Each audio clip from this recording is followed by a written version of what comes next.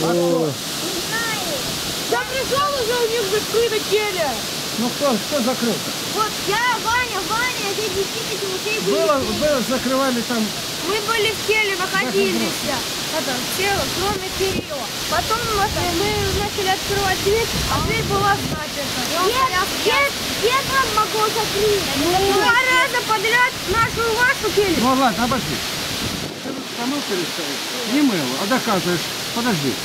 Он сказал, ветром могло закрыть. Этот вариант, ты почему отбрасываешь? Потому что мы говорим, что у нас она на задвижку, а у них она на замок. На Ну. крючочек у них. Ну кто себе при... замок, он не знал, что там внутри кто-то есть. Может, и Нет. неумышленно.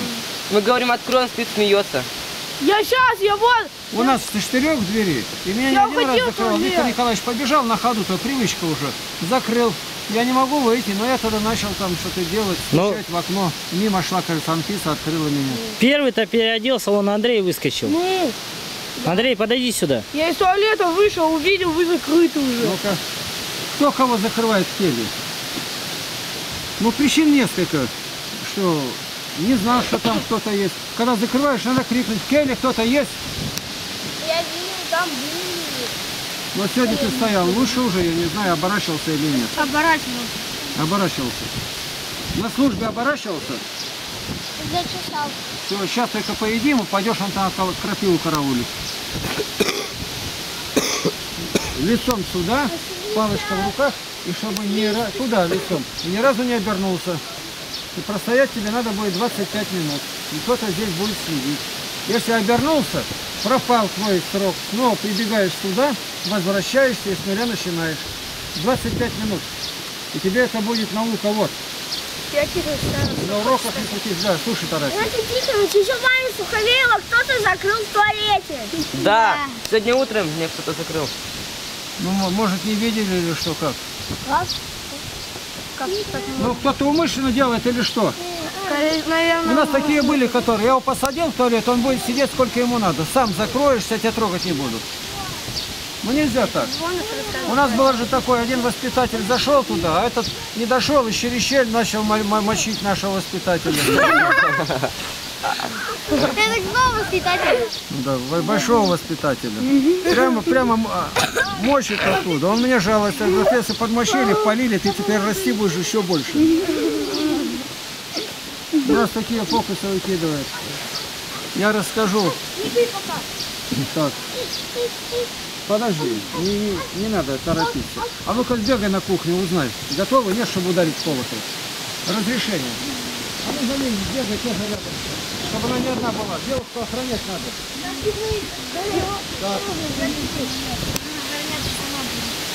Такая интересная улица. Посмотри, какую штуку она увидела. Это двуххвостка. Она маленькая, видать, только она родилась. Вот она, около пальца. Ну-ка сверху приблизь ее. Она маленькая-маленькая, ну миллиметра три может быть. Она ползет. Не трогайте ее, у нее свой путь. Может она на обед идет, а может молиться пошла. Все, как что это? Да? Это, это глуховка Давай. Давай, пошел. в этом буду. Но! Давай.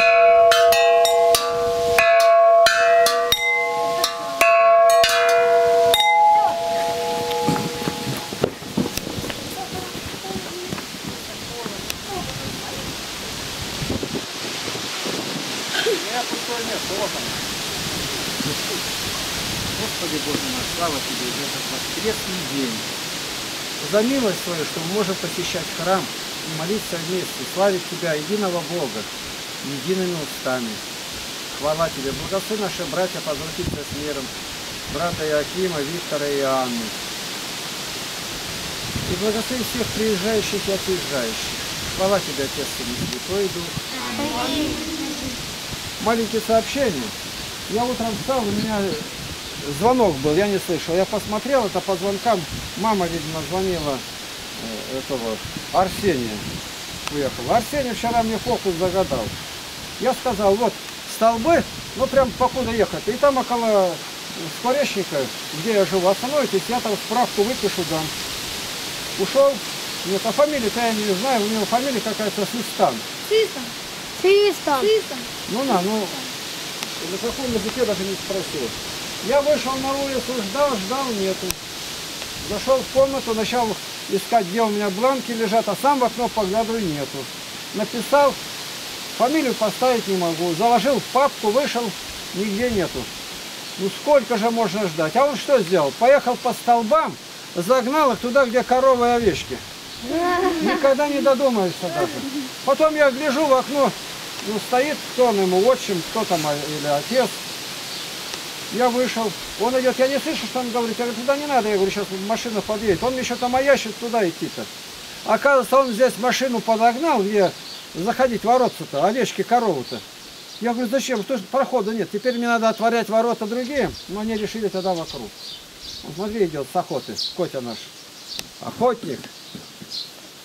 Природный охотник. Вся окрестность трепещет от него. Рыжая его обижала. Я ее взял под арест, она у меня сейчас там лежит дома. В декретном отпуске пошла.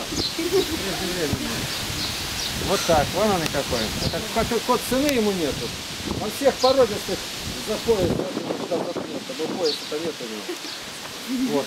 И привели меня туда, где есть. Там вначале тогда уже вставлять фамилию, я ему дал бумажку, говорю, печатной буквами напиши. А я матери показал, говорю, ошибки нету в фамилии, ну пусть там. Что такое? Люди спрашивали. Ну, очень довольная, сели, улыбаются, когда они тут поехали. Потом я посмотрел, что Володя снимал как много, значит видео. Меня здесь не было, я как будто побыл. Я с раннего утра уже смотри. Вот. Вчера Никита там снимал, не могу найти ролика. Заново на два раза перебрал, а оно перекинулось, у него другое название.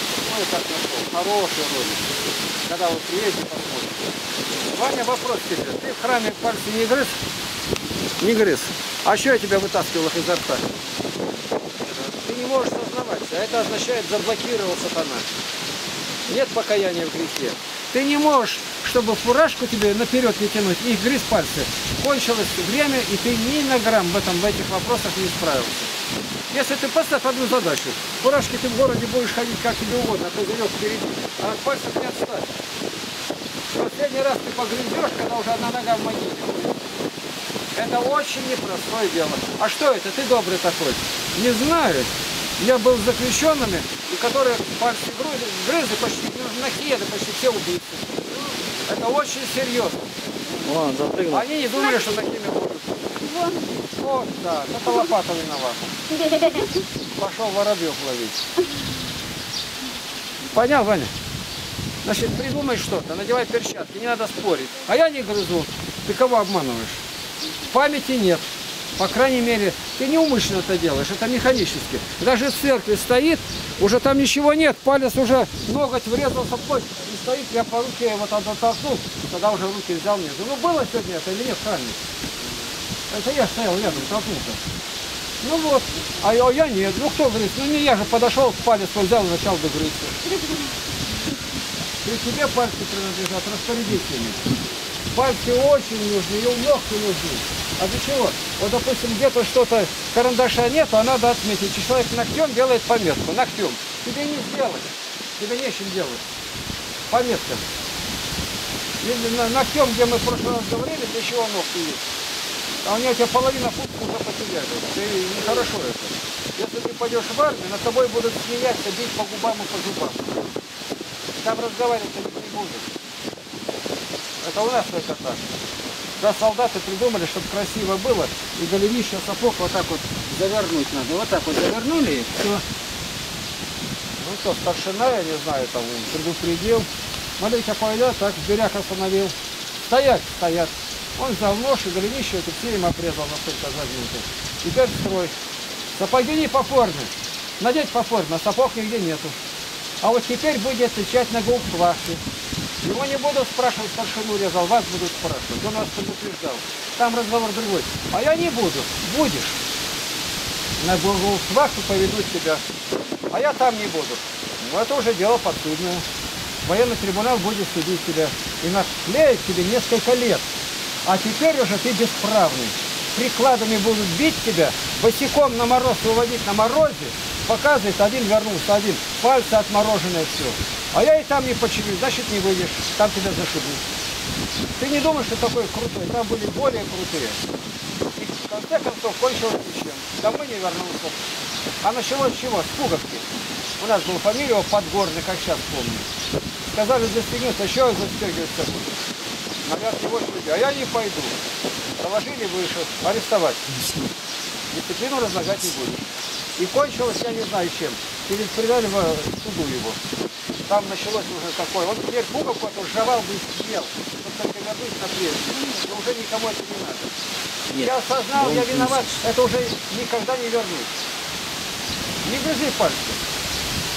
Ты на козырьке на этом попух буквально. Скажи, больше этого не будет. Все, твердо это держи. Вот у меня котик. Заходят, и кто-то из них сказал, а еще такой он страшный котик.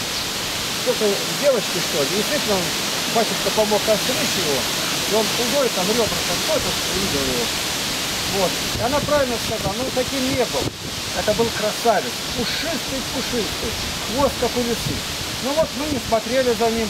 Он охранял у меня около, на чердаке пшеницу. 20 градусов мороза мы его не брали. Когда за 20, тогда заносили. Он как медвежонок белый. Ну вот он заболел. Что? Лечить никак не с чем. Сразу ставить. Да что? Ну убей его и зарой, и все на этом. Мне советуют. Представь, он был друг, сидел на коленях, я его гладил. А теперь он заболел, у него что-то Бог прорвал, кто-то ему, у него там шишка какая-то. Да ничего не значит. Мы приедем к дроботу, их мама, ветеринар, все это сделает. Так нет, и делать даже нечего. Сейчас я ему голову принес рыбе, и он уже выходит на охоту. Друзей не предают, научитесь с малого. Ни котенка, ни, ни воробьенка, ни тем более детенка. Какой бы ни родился ребенок, он твой. Ты храни его и береги. Я читал про одну, не видел я ее, девочка родилась слепая. Ну, врачи проверили, в самом деле она ненормальная будет, каких-то хромосом лишних у нее насчитали там. Правда, неправда, все. Но родители ее очень любили, как вот этот Ник Вучич, который без рук, без ног родился. Это на весь мир известный. И великому счастью, девочка оказалась нормальная, но слепая. Такая она была, училась в школе такой, и память была отличная. Бог дал ей глубокую веру. И она еще в школе ученикам свидетельствовала о Христе. И потом стала знаменитой радиопроповедницей. Что? Любовь соделала. Любовь. Родители положили все, чтобы она ни в чем не чувствовала недостатка. Хорошо заниматься с детьми, которые талантливые и прочее. А когда он балбешка, ничего нет. Я вот сегодня смотрел, одна из наших подошла, икону целовать. Поцеловала и бомб стукнула. Кто это делал? Ну иди сюда. Так и знал. Теперь объясни, зачем ты икону подала?